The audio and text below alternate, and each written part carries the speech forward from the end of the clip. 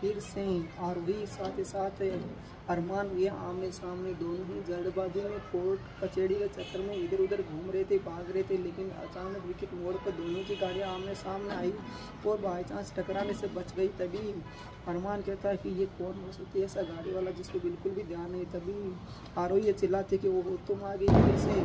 तुम्हें कितनी बार कहना पड़ेगा, कितनी बार समझाना पड़ेगा, लेकिन आरोही उन्हें चाहती भी है तब मन से।